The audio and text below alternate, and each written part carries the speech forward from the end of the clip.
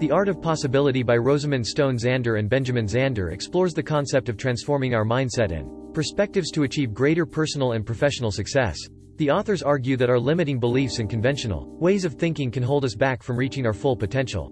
One of the key ideas in the book is to adopt a framework of possibility thinking. This involves seeing challenges and obstacles as opportunities for growth and innovation, rather than as insurmountable obstacles. This shift in mindset opens up new avenues for creative thinking and problem solving.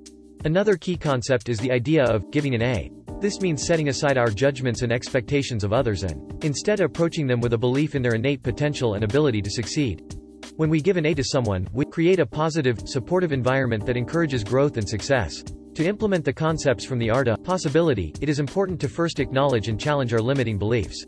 We can start by asking ourselves what we would do if we knew we could not fail. We can also engage in practices that encourage a sense of possibility and a positive mindset, such as visualization, affirmations, and mindfulness. In addition, it is important to create a culture of possibility in our personal and professional lives. This can involve actively seeking out and collaborating with people who have a positive, growth-oriented mindset. It also means embracing change and being open to new ideas and perspectives. Make sure to hit the subscribe button for more awesome content like this. And don't forget to drop a comment with your favorite book suggestion. For the next video,